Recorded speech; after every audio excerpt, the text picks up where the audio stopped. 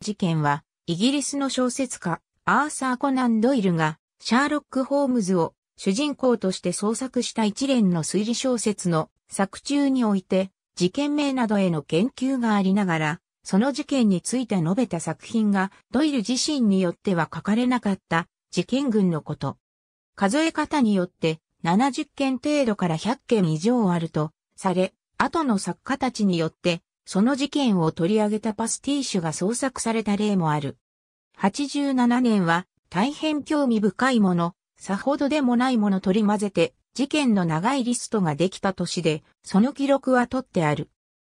この12ヶ月に含まれている件名の中には、パラドールの部屋、素人古事記協会という家具倉庫の地下で豪華なクラブ、開いていた連中、イギリス戦績のバーク戦、ソフィ・アンダーソン号の失踪に関する諸事実、ウファ島におけるグライス、パターソン一家の得意な冒険、そして最後にカンバーウェルの毒殺事件などがあった。 The year 87 furnished us with, a long series of cases of greater or less. interest, of which, I retain the records, among my headings under this one twelve months, I find an account of the adventure of the Paradol, Chamber, of the Amateur Mendicant Society, who held, a luxurious club in the lower vault of, a furniture warehouse, of the facts connected with the, loss of the British barque Sophy Anderson, of the singular adventures of the Grice Patersons, in the island of Uffa, and finally of the Camberwell poisoning case, アーサー・コナン・ドイル、オレンジの種5つドイルは、しばしば作品の冒頭などで、語り手であるワトスン博士に、この頃は何々の事件があったが、などといろいろ事件名を出させ、その上で本題の事件に入っていくという手法をとった。また、ホームズのセリフの中で過去の事件が言及されることもある。このため、作品世界の中では、すでに起こったこと、ホームズが関わり、ワトスンが記録を残している事件とされながら、読者には内容が提示されない、語られざる事件が少なからず生まれることとなった。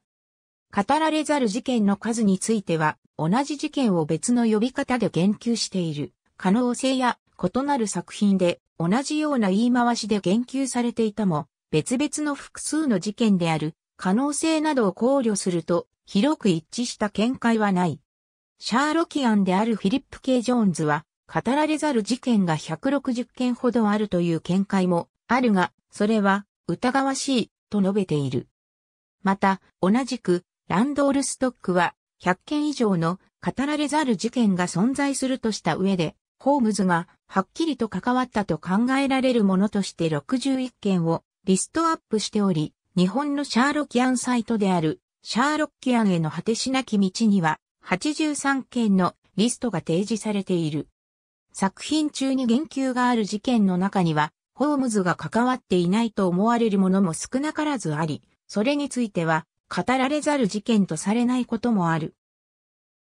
フォンビショフ事件が去年フランクフォートであった。もしこの試験がその時あったら、奴は間違いなく公主刑になったろう。また、ブラッドフォードのマンソン、悪名高いミューラー、モンペリエのルフェーブル、ニューオリンズのサムソン。この試験が決定的になったはずの事件は、あげようと思えば、いくらでも上がるよ。 There was the case of Von Bischoff at Frankfort, last year, he would certainly have been hung had this, test been in existence, then there was Mason of Bradford, and the notorious Muller, and, Lefevre of Montpellier, and,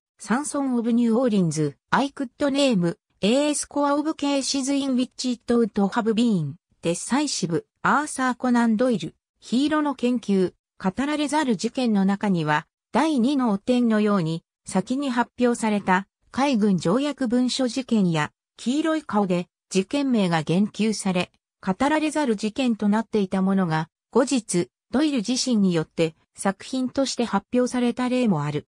また、ドイルの息子であるエイドリアン・コナン・ドイルや、エイドリアンと合作したディクスンカー、ジューン・トムスンらによるものをはじめ、語られざる事件についてのパスティッシュが後に創作された例もある。上実のシャーロキアン、フィリップ・ケイ・ジョーンズは、ドイルによる、ホームズものには一切言及がないにもかかわらず、ホームズが活躍したと設定されている時期に、現実に、ロンドンで起こった未解決事件である切り裂き、ジャックの事件を語られざる事件の一つとみなしているが、これは、ホームズと切り裂きジャックの絡みを取り上げたパスティーシュ作品が多数に上ることを踏まえた見解である。ありがとうございます。